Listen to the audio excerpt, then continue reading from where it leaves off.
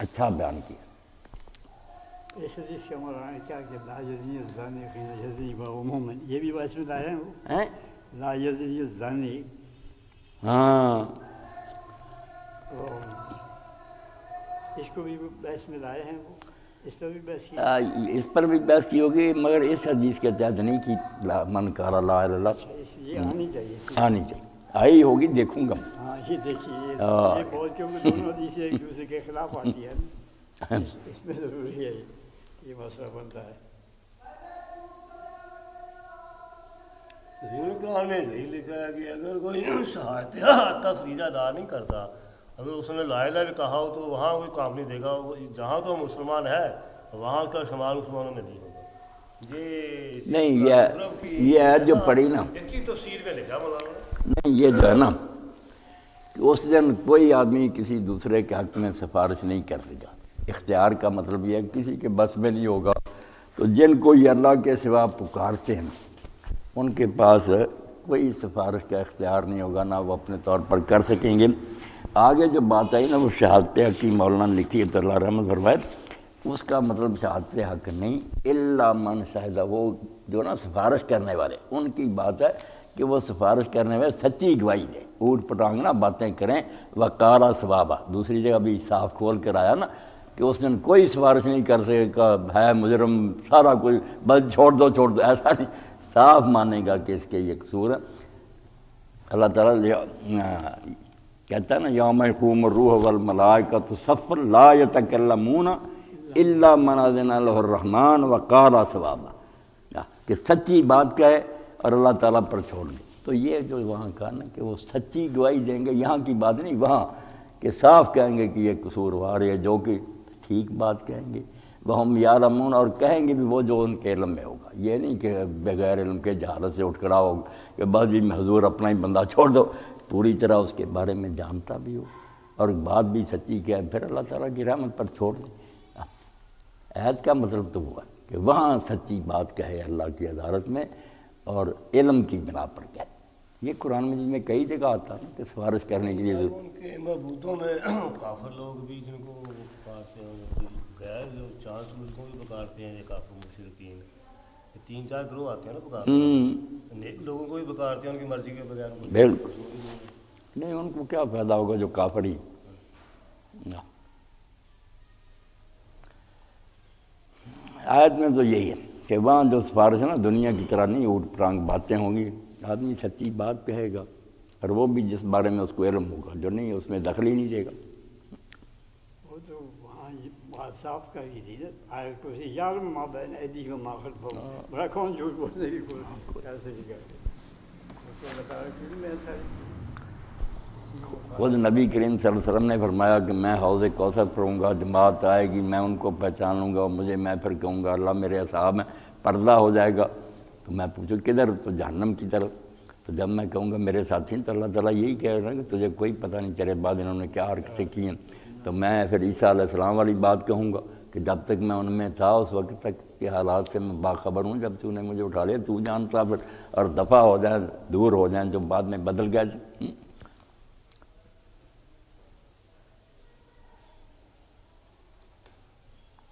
ये काफर भी अगर उम्मीदें रखते तो उनको जवाब दे दिया ना इसमें आप परेशान हो, उनको यही बात कही कि तुम्हारे हक में वो क्या सिफारिश करेंगे जिनको तुम पुकारते हो? वो तो सिफारिश करेंगे तो सच्ची करेंगे, सच्ची सिफारिश नेकों के लिए, बुरों के लिए तो हो ही नहीं सकती और वो भी जो जानते होंगे। अगर उन्हें नहीं इलम तो क्यों दखल देंगे एक बात जो इमाम इबन क़य्यम रहमत ने कही, वो भी किसी जन रिकॉर्ड करानी, उन्होंने सिफारिश की किस्में सारी लेकर कहा कि ये सिफारिश जो मशहूर है ना कि गुनाहगारों को वहाँ ही अदालत में लोग बख्शवा देंगे। शायद ये भी सुनने की बात है कि नबी वली किसी की सिफारिश पर वहाँ ही फैसला बदल जाएगा। उन्होंने कहा, मैंने बहुत ढूंढा है, मुझे किसी हदीस में नहीं मिला। इसका कोई हवाला नहीं मिला कि वहाँ ही दखल दे दिया जाए और लोग जो ना, उनको छुड़ा लिया जाए।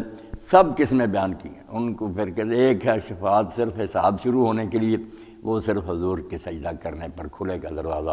कि चलो, फैसला तो हो नेको बदों का शफात कुबरा जिसको कहते आगे जो है ना फिर सारी, वो सब बयान की दो में से निकलेंगे। ये नहीं कि वहाँ ही छूट जाएँगे, जहन्नम जाएँगे। वहाँ फिर तीन किस्तों में हदीस पाक में आता कि हजूर भी और नेक लोग जाएँगे, अल्लाह के हजूर दुआएँ करेंगे। अल्लाह ताला फिर एक हद मुकर कर देगा कि चलो ये ये लोग जो ना जैसे रूपकार दे दी जाती कि, इनकी सजा ख़त्म है, ले आओ। तीन किस्तों में रहा चौथा फिर अल्लाह फरमाया, अब तुम्हारा मामला ख़त्म है। अब अरहमीन अपने रहम से फिर किसी ने जो ज़रा भी नेकी नहीं की, उनको फिर अल्लाह अपने फजल से बख्शेगा। होम वाहिद। बाकी जो है ना, तीन मरतबा सिफारिश। और एक सिफारिश है रफ़ दर्जात के लिए। इसको सब मुसलमान मानते हैं कि दर्जा बुलंद करने के लिए। मेरी नेकियाँ जो हैं, उसके लिहाज से मुझे थर्ड क्लास मिलती है। अगर अल्लाह के रसूल किसी नेक ने सिफारिश कर मुझसे मोहब्बत रखता था। अल्लाह ने दर्जा बुलंद किया।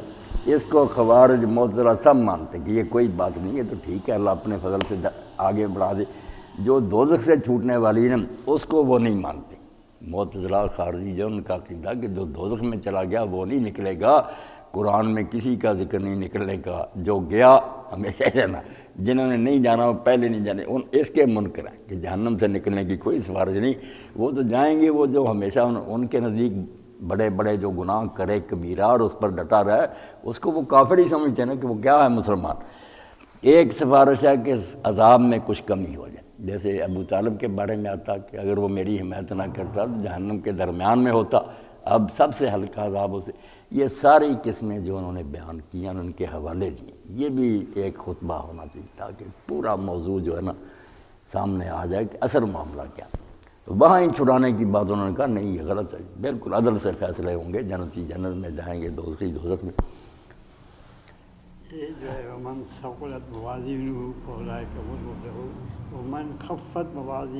फ़ौलाए के लजीन खसर बन फ़ी जहन्नम खालिद खबारी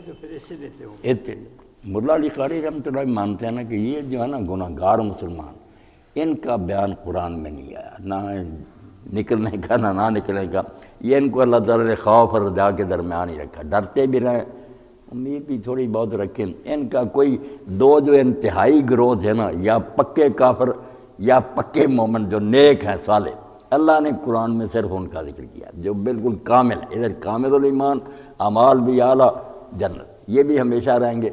उधर भी यही था कि माँ हम में खारजीना में नार। नहीं निकलेंगे दो जब भी निकलने का इरादा करेंगे फिर निकल दिए जाएँगे।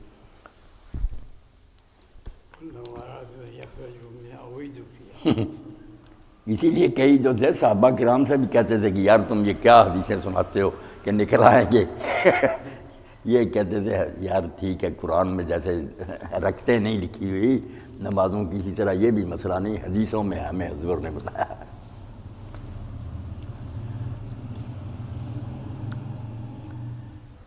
बस जो बात अल्लाह के नेक बंदों ने कही ना, कि मुसलमान से भी गुनाह हो सकता आखिर इंसान ही है। मगर कुरान मजीद ने सिर्फ़ दो सूरतों में इसको माना। एक शक्ल तो यह कि कोई मजबूर कर दे वो नहीं करना चाहता, मगर तलवार गले पर रखी तो करवा दिया इकरा अल्लाह मन उकरा इसको भी माफ़ी। एक जो है कि बेजहालत है। कोई प्लानिंग नहीं थी, कोई इरादा नहीं था। हालात ऐसे बन गए, जज्बात का गलबा हो गया, है? उस वक्त वक्ती तौर पर फिसल गया। मगर फ़ौर सम्मत आबा अन करी। फ़ौरन फिर कहा मुझसे क्या हो गया? ये जो है इनके कुरान ज़िक्र करता है, कोई बात नहीं। जो धरना मार कर गुनाह पर बैठ गया ना, शाह अब्दुलजीज़ मुदस अली रहमत लिखते हैं, जो फ़ुकार ने कहा ना कि इस्तेलाल मस्जिद, गुनाह को जो हलाल समझ रहे, वो काफर हो जाता, फिर नहीं वो ममर रहा। बेशक ज़ुबान से ना ही कहे। तो वो कहते हैं, इसका माना जो लोग समझे ना आम, कि वो ज़ुबानी कह दे कि शराब हलाल है, ये सुबह ये नहीं माना। माना यही है कि एक वक्त आता करते करते ना, फिर उसका दिल जो ना, वो ये मान बैठता कि ये शायद कोई बुरी नहीं, बहुत अच्छी इसमें बड़े फ़ायदे हैं।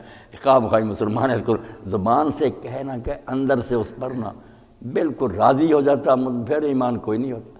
जब तक बेचैनी रहती है, आदमी परेशान रहता है कि मुझसे क्या हो गया। उस वक्त खा वो कितना गुनागार होना अभी ईमान उसके अंदर बाकी इसीलिए परेशान हो रहा कि मैं क्यों ये काम कर बैठा? जब नदामत ही ख़त्म हो जाए, लुत्फ ले, गुनाह से मज़े ले और कभी ख्याल तक भी ना आए कि ये बुराई फिर ईमान क्या? हम्म? ला जदन जानी वह मोमिन। यही बात है जानी जो है, जब जना करता मोमिन नहीं होता। चोर चोरी करता मोमिन नहीं होता। हुँ? हम्म? बाद में अगर तौबा करे तो लौट आता, वरना निकला ही रहता। यही हदीस पाक में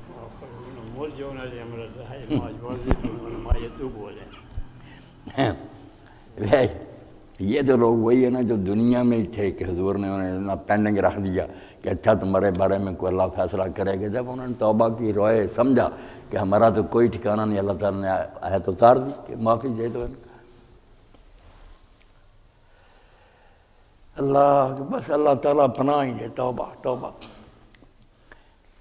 तो ये नहीं जो ये शुएब बच्चा सब लोग कहते हैं कि अगर मानता हो कि आग में जाना है तो यहाँ ज़रा दुनिया की आग में उंगली डालना एक मिनट ही सिर्फ़। यहाँ मानता होता तो इतनी देरी करना अल्लाह ताला ने कुरान में कैसे फमा असबर हम अलन्नार कि कितने ढीठ हैं, कितना हौसला इनका, दोजख में जाने के लिए तैयार है। ये लफ्ज़ क्या है कुरान फमा इतने दलेर कि दोजख की आग जो इससे सत्तर गुना तेज है, उसमें पढ़ने के लिए तैयार।